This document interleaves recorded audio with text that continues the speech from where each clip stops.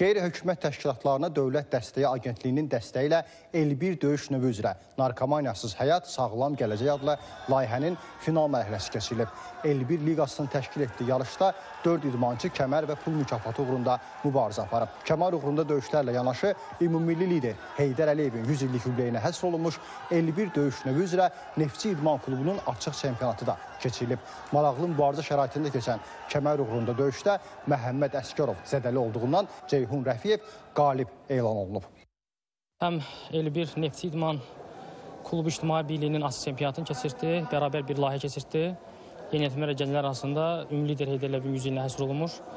Həm də Narkoman Səyahət Sağlam Gələcək adlı layihənin final günü idi. Yarışın keçirilməsi əsas məqsəd insanları sağlam həyata sövq eləməkdir və bildiyiniz görə bura gənclər gəlir, gənclər artıq onlara oxşamaq istəyir və bu da olan pis fəaliyyətləri və narkotikadan uzaqlaşmalarına bir səbəb olacaq.